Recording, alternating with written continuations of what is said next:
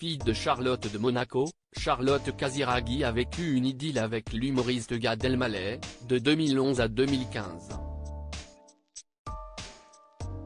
De leur union est né Raphaël Elmaleh, en 2013. Le jeune garçon s'est illustré au cours d'une compétition sportive qui a eu lieu sur le Rocher ce samedi 6 avril.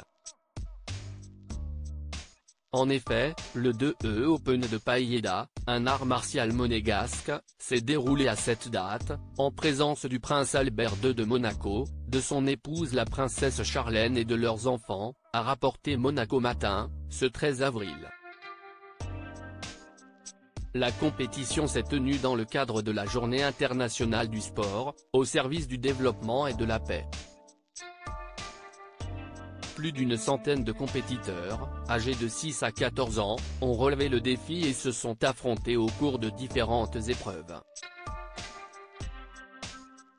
Lors de la compétition, Raphaël Elmaleh s'est classé sur le podium à plusieurs reprises. Il a ainsi obtenu la médaille d'argent au cours de la discipline assaut, dans la catégorie Benjamin. Puis, il s'est classé en troisième position et a donc obtenu la médaille de bronze, après avoir démontré ses compétences techniques dans ce sport. Des résultats qui ont certainement fait la fierté de ses parents. Supérieur à supérieur à Raphaël Elmaleh, Balthazar Assam, Inodia Kaziragi. Les enfants ont fait sensation à Monaco pour la fête du prince 2022 un art martial spécifique le mot pailleda est composé des termes paillé, signifiant paix, en langue monégasque, et des initiales de défense art, peut-on lire sur le site internet consacré à ce sport.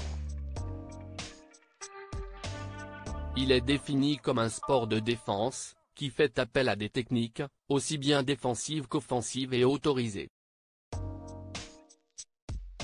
Cette discipline met en avant des valeurs morales et éthiques, comme il est stipulé sur le site web consacré au Païeda. Les jeunes enfants comme les seniors peuvent pratiquer ce sport. Les participants évoluent progressivement et montent de niveau, grade, en fonction de leur expérience. Article écrit en collaboration avec 6 médias Crédit Photo, Bruno Bébert.